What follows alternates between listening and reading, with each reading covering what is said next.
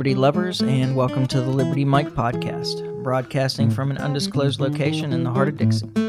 I am Michael, and I am here alone. Um, I guess I need to start off by apologizing. Um, I don't want to start off by apologizing. I, I will start off another way. First, uh, let me um, welcome any new listeners from the local 251 International Brotherhood of Mouth Hitters. Uh, we went to a No Agenda meetup a couple of weeks ago. Um, met some really cool people. It was uh, it was fun. Uh, I had a good time, and um, and there were some people that expressed interest in the podcast. It is, I suppose, a podcast community to start with, so that would only make sense. And um, and now I'll apologize. um, I apologize for any new listeners for having to wait so long. And I apologize to the regular listeners for having to wait so long. Um, we had something come up, what would have been our following Thursday, um, like that day. And so uh, Liberty Larry couldn't make it, and I didn't feel like doing the podcast, frankly. Um, and then, but then I kept telling myself, well, I'll, I'll, you know, I'll get something out. I'll get something out. I'll get something out. And I just, uh, I've been having a really hard time motivating myself. I guess that's as much as anything what it comes down to. So, and, uh, you know, here, here we are still. So at least I, I finally got myself up to doing this. Now, all that being said, um, I think that this is going to be a very different kind of podcast than what we usually do because there's not really anything in the news that I want to talk about, at least not without Liberty Larry, um, if I can help it. I mean, I, I would kind of like to address the Kazakhstan, Ukraine um, stuff, and uh, and I will just as a little housekeeping point out that um, Stewart Rhodes from uh, that we spoke about on the last podcast was, in fact, I guess, uh, indicted at this point, and that Ray Epps, um, well, the story is that he's going to um, appear before Congress in the January 6th Commission or whatever. Actually, he'll be giving testimony from his lawyer's office, safe and sound, and he still hasn't been indicted. Um, but at least there's been enough public pressure that they're having to they're having to respond at the very least. Um, in terms of why it's been difficult to to be motivated, uh, it's this stupid pandemic that should be over, and and I'm just I I think like most people, I'm just really tired of this whole thing. So, you know, I was recently exposed to somebody who tested positive. I never got sick. Um, I I felt fine the whole time, and it was uh it was at the end of a week and so I told my office that I wouldn't come in on the Friday and that as long as I was feeling fine, I'd be back on Monday. And they told me um, that I couldn't return to the office without a negative test. And it, I don't know, it just comes back. I thought that I was taking enough precautions just by waiting through the weekend. That would have been, you know, roughly five days since I had been exposed. If I still don't have symptoms, then then I should be fine. Like, and it, it comes back to the whole thing that I keep being amazed that I have to say over and over again, which is, uh, I can't make you sick if I'm not sick. And the the news on this is is all wrong. Um, you know, we're just continuing with this thing, and they're still pushing this fear of Omicron. And also, I was corrected on how to say Omicron. Um, I was told it's the Greek letter. I said, yes, I know that. um, and but I had always been told that it was pronounced Omicron, the Greek letter. Uh, apparently not. So I'm told. There's multiple schools of thought on this, I suppose, but I'll go with Omicron. It doesn't sound as dangerous dangerous as Omicron anyway, so that's a that's a good reason not to say Omicron, I suppose. Anyway, um, so I was talking with my mother about this, and you know she was talking about, oh well, you know they keep going on about uh, number of cases, and you know everybody's getting sick and and so on. And and I, I said that you know at this point, the news should be that Omicron isn't dangerous. The the news should be, hey, we've we've made it. we're through with this thing. Um, you know, we're back to a uh, a virus that is only really dangerous to people for whom everything is dangerous. Right? Like to normal people out there, Omicron is is very mild by all accounts. Of course, there's exceptions to that, but th- that's not the point. You don't you don't make policy based on exceptions, um, and I, I think that you know the the news should be, hey, we have a virus that's that's tearing through and infecting lots of people, but it's making very few of them really sick, and it helps boost immun- immunity into more dangerous variants of this virus. Uh, so, you know, yay for us. We've gotten through the worst of it. Um, we'll be at herd immunity soon enough if we haven't already been, and I would argue that we'd already been. But anyway, um, but and and she said, "Well, that's not what I'm hearing on the news." I said, "Well, I'm sure that that's true.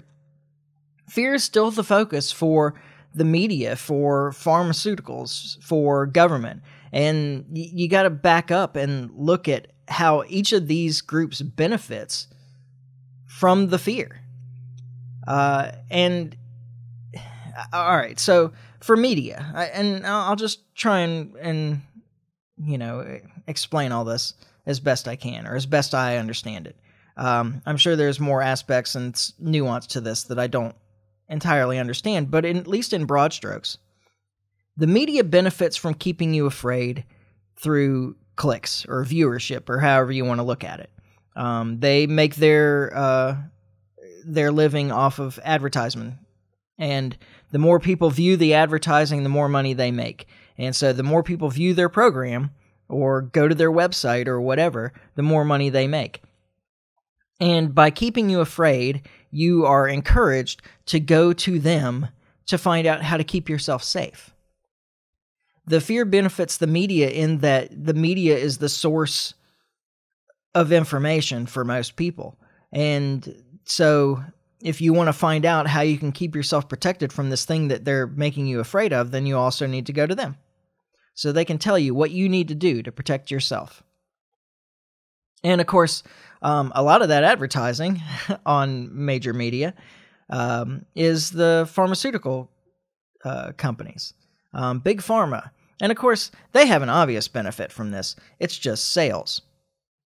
And we've seen numbers over and over again since the vaccines came out and, and so forth of the tremendous, tremendous amounts of money that these companies that are producing these vaccines have made. And, uh, you know, it's. And it's real easy to make money um, if you can have a product that there's a government mandate that people buy.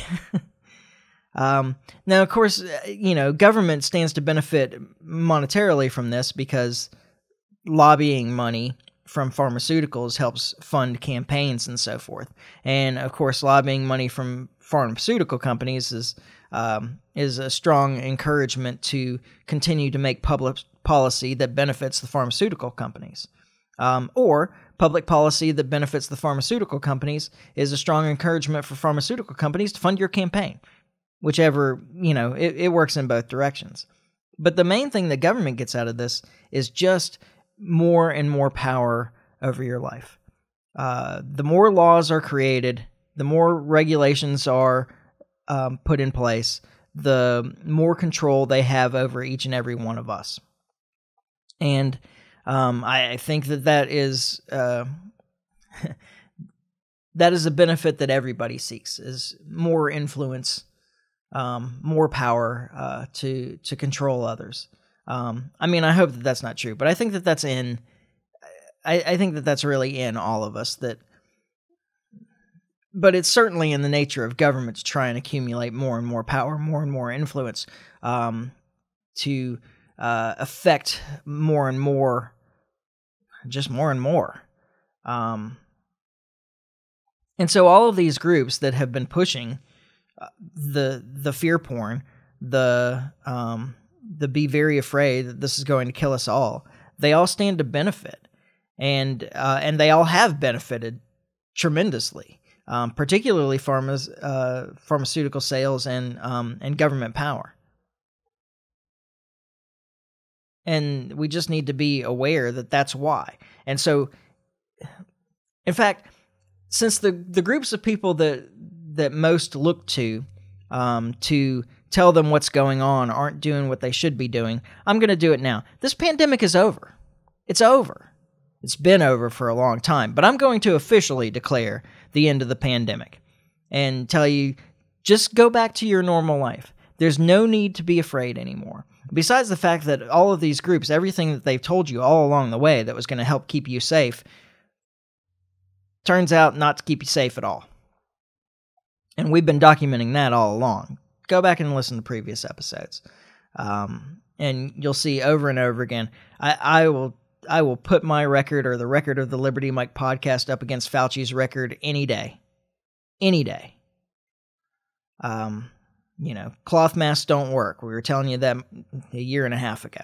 Um, that uh, that actually masks of any kind have little impact on the transmission of the virus. Um, even surgical masks. N95 is a little bit more questionable, but it depends on exposure time, etc. And all of the testing that's done. Well, I'm not. I'm not going to rehash all of this. It's it'll take too long. Um, but you know, we've had videos taken down because we said that the um, vaccines wouldn't prevent you from getting and spreading the virus um, because that was misinformation until it wasn't. Um, that and I understand things change along the way. Um, certainly, Omicron uh, has seems to get around the the vaccine better than other variants have. But and this is another point that I would like to make actually at this point because it we've said it before that this is the first time that we've that most epidemiologists tell you that you don't vaccinate, you don't do mass vaccination during a pandemic. Um, and that you do select vaccination of the most vulnerable people and then you let everybody else deal with the pandemic. To people that are have less to fear uh, from the from the illness, and I, I think this is another example where um, vaccination actually uh, prolonged the virus um, and assisted in the develop or the evolution of variants. And we've seen that each of the variants along the way, at least the major variants that have been talked about the most, Delta, Omicron specifically, that they continue to get better and better at getting around the vaccine. And uh, again, I would point out that if you can still get the virus when you've been vaccinated, and you can still spread the virus when you've been, been vaccinated, that all you've done is you've created this interesting little petri dish um, for uh, natural selection to occur for the virus, and that the more people are vaccinated, the better the virus will become at getting around the vaccination.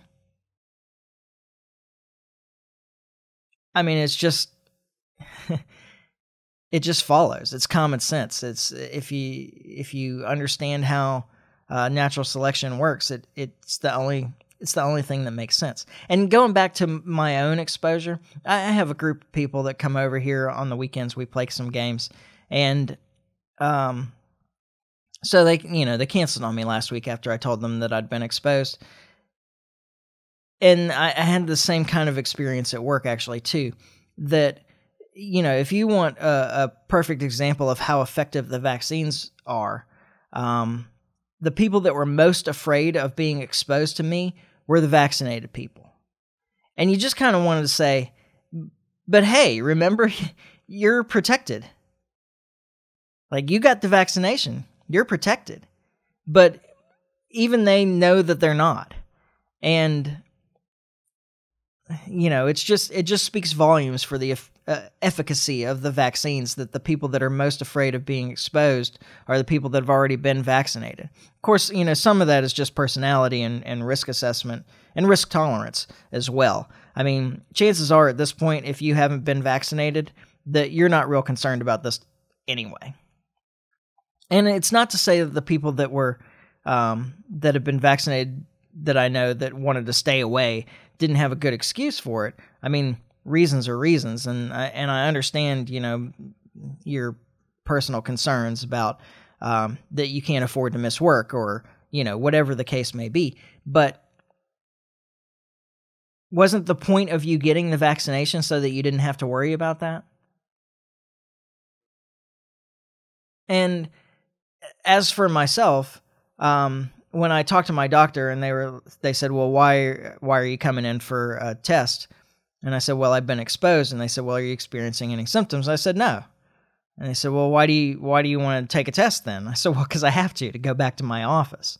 Um, and while I like to work at home from time to time, I don't like to make a habit of it the, because then there's no separation between my personal life and my work life, and I want that separation. So I I like to work from home, you know, less than half of the time that I'm working.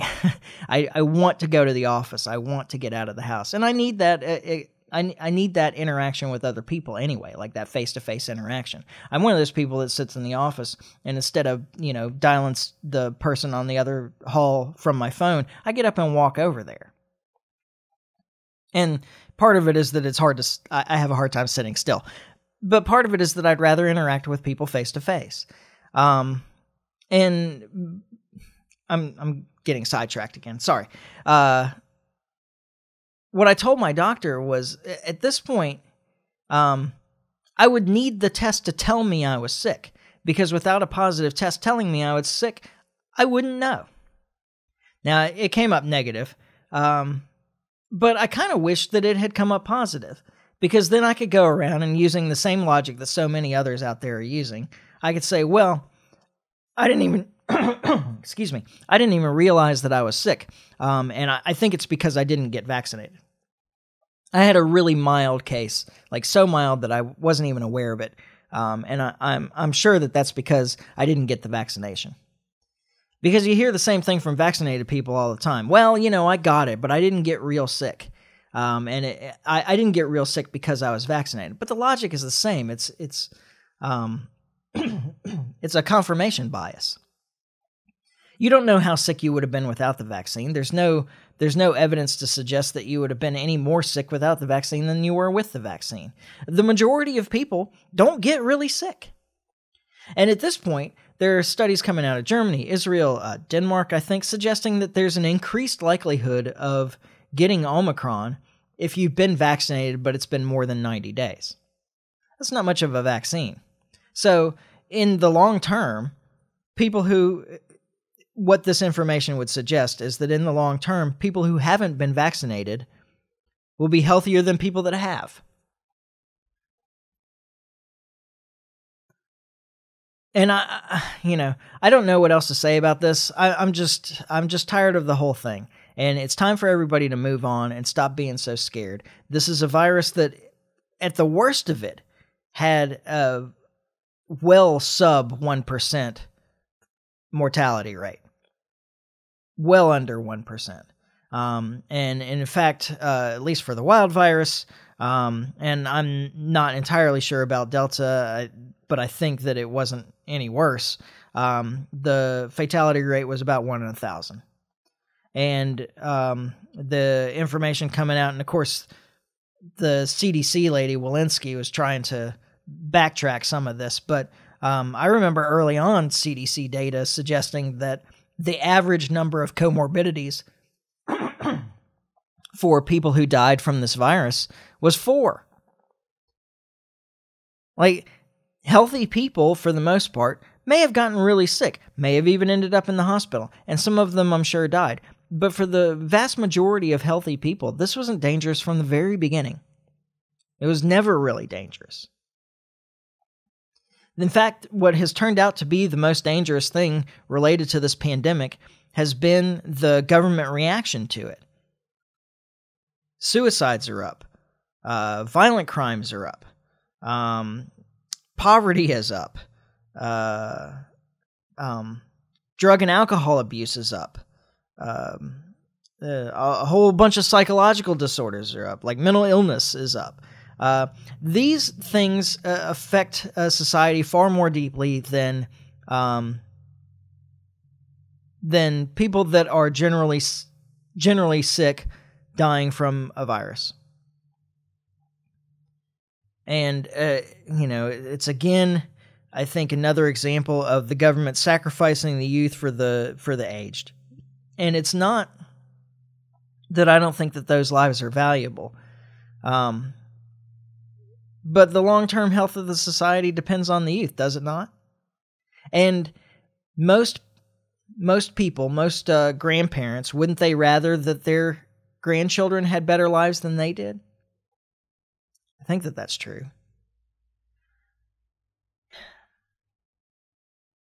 Well, sorry, this wasn't much of a news recap. It was just really a rant. But this needs to be over with. And the people that are supposed to tell you it's over, they never will. And so if you want it to be over, if you agree that it's over, then you just need to start living your life as normal again. Because there's no sense in doing anything else. You're not really at any more in any more danger today than you were 2 years ago. And so it's time to go back to that. And I don't believe in this new normal crap. We don't want a new normal. We want to go back to normal. We want to go back to the way things were, and we should have never never deviated from that in the first place. And I understand at the beginning that there there were a lot of unknowns. But we very quickly learned that the reaction to the virus was more damaging than the virus itself. But a, pun- a bunch of people got the spotlight that had never had the spotlight before, and a bunch of people saw an advantage that they could gain from playing this up and making you fearful and making you turn over some responsibility for your life to them. I mean, even today, they're culling hamsters in Hong Kong. A year ago, they were culling mink in um, in Europe. Uh, people are still terribly afraid of this thing that shouldn't cause that much fear shouldn't cause any more fear than your general feeling about worry, uh, general feeling of worry about being sick. I mean, for some reason, um, with anything else, we just treat this differently. With anything else, you don't go to work if you're too sick to go to work. And too sick to go to work means something like you are stuck on the couch, or you are spending the whole day in the bathroom, or you are just doubled over and unable to get up and go. Um, but for some reason, with this virus being positive with no symptoms, is too sick to go to work. In fact, it doesn't even take that. If somebody you live with tests positive, even if they have no symptoms, you somehow are too sick to go to work. And at the same time, um, they the hospital staffs they're they fired people that wouldn't get the vaccine, won't allow them to work even if they're healthy, and they're bringing people back in that have the virus, that have tested positive, but don't have symptoms. Or that it's just been five days since they tested positive um, in some places. This whole thing is upside down. And and it it seems to me that everybody at this point that is paying any attention has to be aware of it. And so there's only one thing to do now, and that's just to go back to normal life.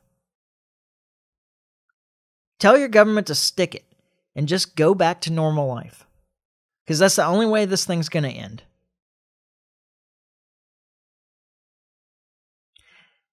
And I suppose that's all I have to say.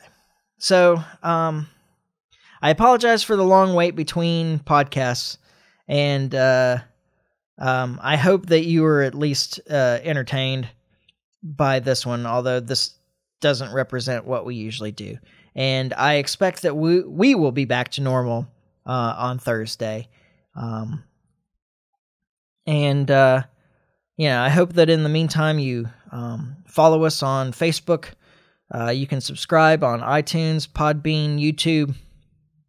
Like and share. It's a big benefit to us if you like and share. Uh, you can always contact me um, at michael at thelibertymic.com.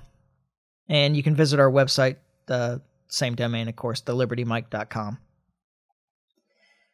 And uh, we expect to, both of us, be back on Thursday, maybe Friday. You know how schedules are. We're just bad at them but we're you know we were doing really well until this last couple of weeks um, and just some unforeseen circumstances. But uh, in the meantime, try to stay free. Ciao.